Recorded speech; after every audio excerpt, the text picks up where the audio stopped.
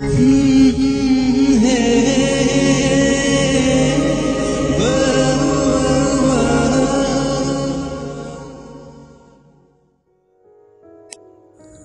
আলাইকুম ফ্রেন্ডস কেমন আছেন সবাই? আশা করছি ভালো আছেন। আজ আমি আপনাদের জন্য সামান্তা সিমিয়াপুর গল্প মন গহিনের তিন নম্বর পর্বটা নিয়ে হাজির হয়ে গেলাম। আশা করছি আপনাদের ভালো লাগবে, তাই শুরু থেকে অবশ্যই শেষ পর্যন্ত দেখবেন, পুরোটা দেখার পর কমেন্ট করে জানাবেন গল্পটা আপনার কেমন লেগেছে। যদি ভালো লেগে থাকে, একটা লাইক দিতে ভুলবেন না। তো চলুন, বেশি কথা না বলে সরাসরি গল্পে চলে যাই। কলেজের সামনে গাড়ি থামতে আমি নেমে পড়লাম। ওনার দিকে ফিরেও তাকায়নি আমাকে যে খারাপ মেয়ে মনে করে, তার সাথে চোখ মেলানোর কোনো ইচ্ছেই নেই আমার। ভেতরে ঢুকবো এমন সময় তুষার ভাই ডেকে উঠলেন, নীল, ছুটির পর এখানে অপেক্ষা করিস, বাসায় পৌঁছে দেবো আমি। কোনো উত্তর না দিয়ে চলে গেলাম। ক্লাস শেষ করে গেট দিয়ে বের হচ্ছি। তুষার ভাইয়ের হোয়াইট কালারের গাড়িটা কোথাও দেখা যাচ্ছে না। অন্যদিন তো নিতে আসে না। তাহলে আজ এত আধিক্যতা দেখানোর কারণ কি? আমি তো ঠিক করেছি, আর কখনই তুষার ভাইয়ের গাড়ি দিয়ে আসা যাওয়া করব না। যাক, ভালোই হয়েছে। উনি এখনও এসে পৌঁছায়নি। আমি এখন নিজেই বাসায় ফিরে যাব। চারদিকে আরও একবার নজর বুলিয়ে হাঁটা দিলাম। কিছুটা রাস্তা গিয়ে রিক্সা নিব। আজকে গরমও পড়েছে খুব বেশি। সূর্যের তাপে আদো সিদ্ধ হয়ে বাসে ফিরতে হবে। ঠান্ডায় কিছু খেতে পারলে বেশ লাগতো, কিন্তু এখন টাকা খরচ করা যাবে না।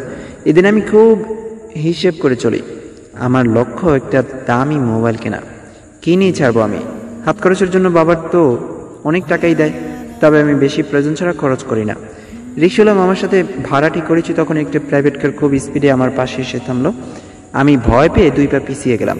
গাড়ি দেখেই বুঝে ফেললাম, এটা তুষার ভাইয়ার। দেখেও না দেখার বান করে রিক্সাওয়ালাকে বললাম?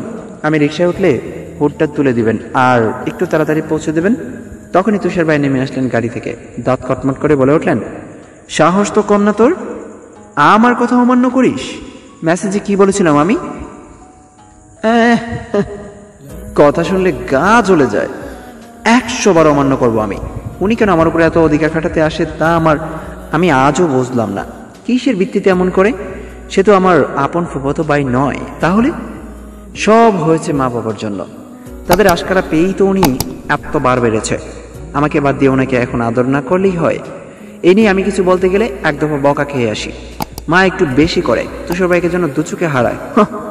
আমি দম নিয়ে বললাম, অন্যদিন তো ছুটির পর নিতে আসেন না, তাহলে আজ কেন? এমনিতেও আমি আপনার গাড়িতে উঠতে চাই না কোনো দিনও না। ভাইয়া বলো, রাস্তার মধ্যে সিন ক্রিয়েট করিস না নীল? যা, গাড়িতে গিয়ে বস। তুষার কথা আমি ফু উড়িয়ে দিলাম।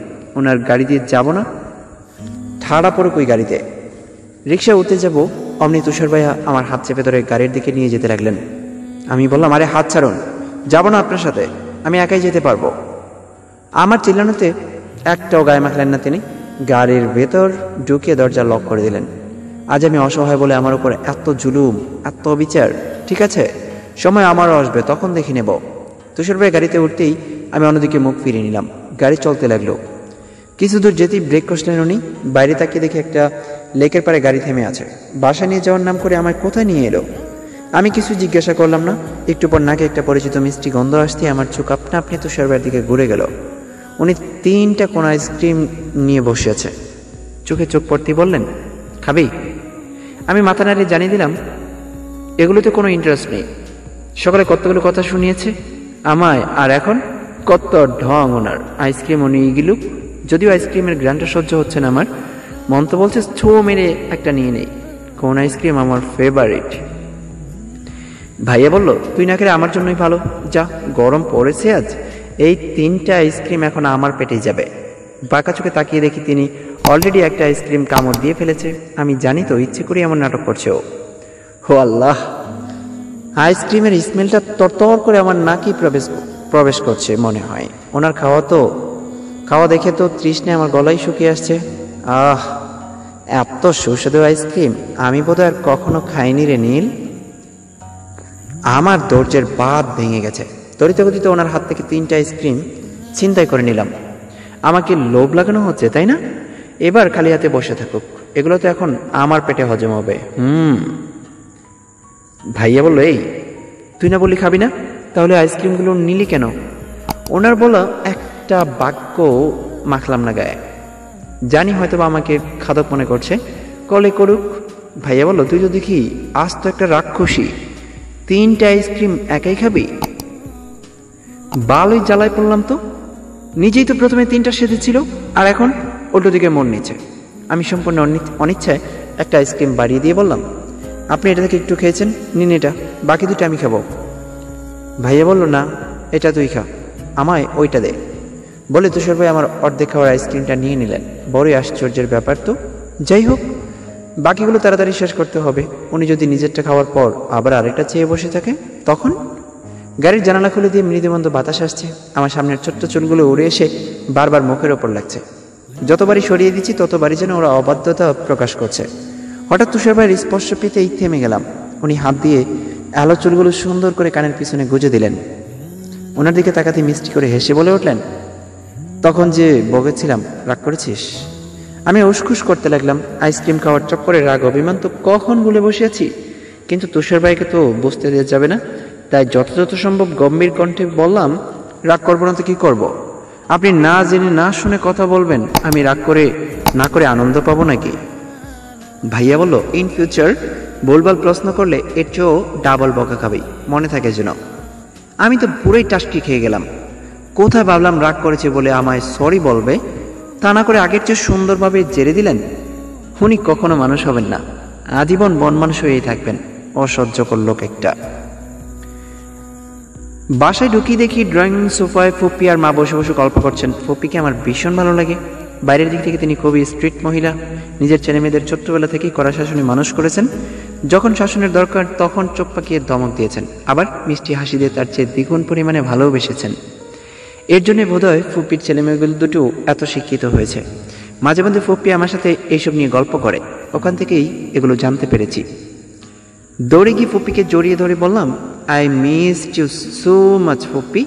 একদিন তোমাকে না দেখলে আমার কেমন কেমন যেন লাগে। ফুপ্পি হেসে বললেন এই, দূরে যা। তুই মাত্র বাইরে থেকে আসলি, গায়ে অনেক ধুলাবালি। জলদি গোসল করে আয়। আমি বললাম, না, ফুপ্পি, এখন আমি কিছুক্ষণ এসির নিচে বসে থাকব, তারপর গোসল। ফুপ্পি ধমকে সুরে বলে উঠলেন, এগুলো ভালো অভ্যাস নয় নীলাশা। বাইরে থেকে এসে প্রথমে নিজেকে ফ্রেশ করে নিতে হয়। আজ কিন্তু তোর পছন্দের খাবার রান্না করেছি। খেতে চাইলে তাড়াতাড়ি গোসল করে আয়। আমি অপেক্ষা করছি তোর জন্য। আমি বললাম, সত্যি ফুপ্পি? আজ তো দুপুরের লাঞ্চ একদম জমে যাবে নো টেনশন মাত্র দশ মিনিট এর মধ্যেই তোমার বান্দা তোমার সামনে হাজির হয়ে যাবে। দৌড়ে চলে এলাম রুমে। এখান থেকে শুনতে পাচ্ছি মা আর ফুপ্পি আমার কথা শুনে হাসাহাসি করছে। ফুপ্পির হাতের মুরগির রোস্ট জাস্ট অসাধারণ। যতবারই খাই মন ভরে না যেন। তাই যেদিন ফুপ্পি এই আইটেমটা রান্না করে, সেদিনই ফুপ্পি আমাকে তাদের বাসায় নিয়ে যায়। চটপট গোসল সেটে ফুপ্পির সাথে চলে গেলাম। লাঞ্চ শেষে ফুপ্পিদের ড্রয়িং রুমে বসে টিভি দেখছি। বাসায় তুষার ভাইয়া তুষ্টিয়া কেউ নেই। ভাইয়া না থাকলে আমি বাঁচি, কিন্তু তুষ্টি আপু বাসা না থাকলে একটুও ভালো লাগে না। পরীক্ষার কারণে ইদানিং আপু একটু ব্যস্ত। টিভি অফ করে উঠে দাঁড়ালাম। ফুপ্পির নিজের রুমে গভীর ঘুমে তলে আছে। আমাকে বলেছিল ঘুমাতে, কিন্তু দুপুরে ঘুমানোর অভ্যাস নেই আমার। কি করে সময় কাটাবো এখন? ফুপি যে জেগে থাকলে বাসা চলে যেতাম। দরজা খোলা রেখে তো আর যাওয়া যাবে না।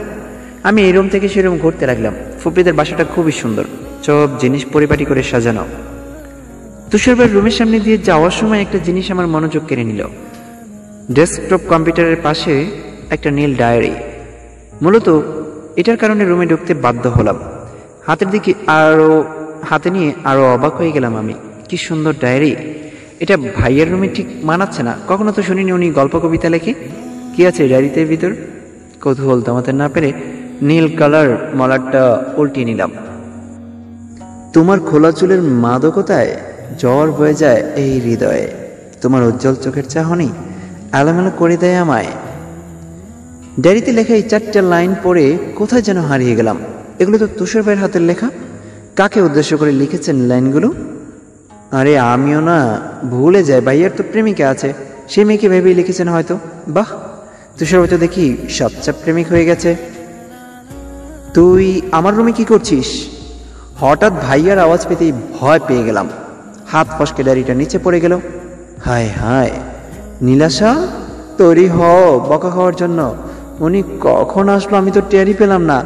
সব দোষ এই নীল ডায়েরিটার, তো ফ্রেন্ডস আজকের গল্পের পর্ব এতটুকু ছিল। আশা করছি আপনাদের ভালো লেগেছে। যদি ভালো লেগে থাকে, একটা লাইক দিবেন কমেন্ট করবেন সব সময়। ফারুক স্টাডির সাথে থাকবেন সেই কেমন হয় আল্লাহ হাফিজ। Bye bye tata.